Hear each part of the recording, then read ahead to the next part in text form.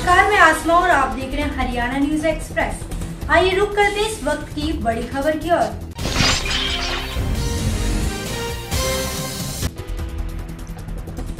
पंचकुला शहर में कई लोगों से करोड़ों रुपए की धोखाधड़ी के मामले में आरोपी अनिल भल्ला, उसके दोनों बेटे, business partner Narendra Khillan, CA समेत अन्य रिश्तेदारों के घरों पर ईडी ने छापा मारा।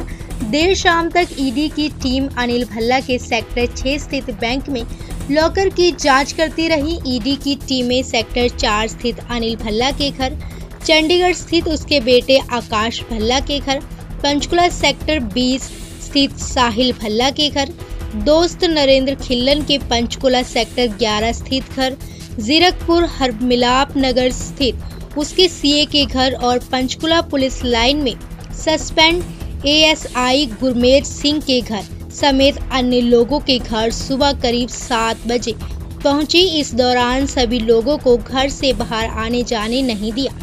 सभी के घर के बाहर पुलिस फोर्स तैनात की गई थी।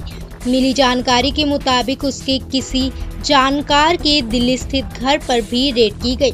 देर शाम तक ईडी की टीम सेक्टर 6 के सरकारी बैंक में अनिल भल्ला के लॉकर और खाते की जाँच कर रही थी।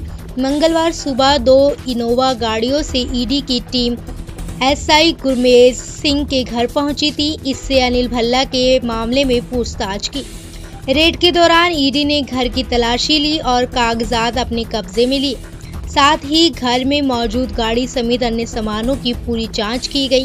पंचकुला से हमारे संवाददाता कपिल नागपाल की रिपोर्ट।